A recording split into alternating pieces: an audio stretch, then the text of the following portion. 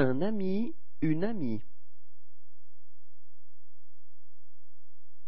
Un étudiant, une étudiante. Un avocat, une avocate. Un marchand, une marchande. Un employé, une employée. Un Finlandais, une Finlandaise. Un Français, une Française. Un Américain, une Américaine.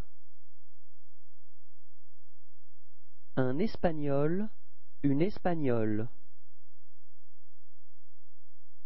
Un Chinois, une Chinoise.